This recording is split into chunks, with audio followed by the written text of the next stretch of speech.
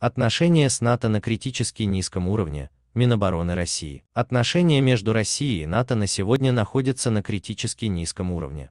Альянс якобы отвергает предложение по деэскалации. Об этом сообщает РБК Украина со ссылкой на ТАСС.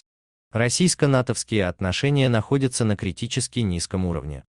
Это происходит на фоне глобальной нестабильности, террористической угрозы, развертывания очередной гонки вооружений, а также полной деградации архитектуры безопасности в Европе, заявил заместитель министра обороны России Александр Фомин по итогам заседания Совета России-НАТО.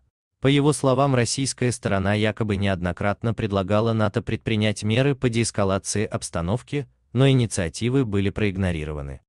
Напомним, ранее в Госдепартаменте США по итогам этой встречи заявили, что Россия не взяла на себя обязательство отвести войска от границ Украины. А в НАТО предупредили, что могут усилить военное присутствие на восточном фланге, если Россия решится на вторжение.